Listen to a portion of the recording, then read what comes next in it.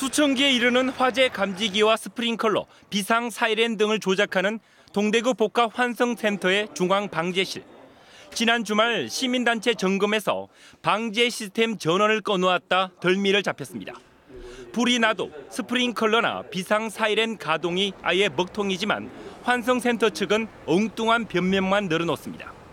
공교롭게도 한 12시경에 토요일 날 12시경에 그 감지기가 한 오작동 돼서 그런 그걸 찾다 찾다 안 돼가지고 기본에 기본조차 지키지 않은 안전 설비도 한두 군데가 아닙니다. 환승센터 내 이 식당은 반드시 있어야 할 천장 화재 감지기조차 없는데 그럴 리 없다고 장담하던 센터 측조차 현장 확인 후 할 말을 잃을 정도입니다. 아까 뭐 그럴 리가 없다 그러셨잖아요. 감지기 없을 리가 없다.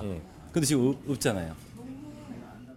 밀폐된 공간에 하루 수백여 대의 버스가 오고 가는 건물 구조 때문에 동대구 환성센터는 환기 시스템 운영이 생명과도 같은 존재입니다. 그런데 취재 결과 환기 시스템 운영도 눈 가리고 아웅식이었습니다. 바닥과 천장에 환기 시스템 전원을 아예 꺼놓은 건데 센터 측이 내놓은 해명은 더욱 기가 막힙니다. 많은 양의 모다가 돌다 보니까 소음이 굉장히 시끄럽습니다.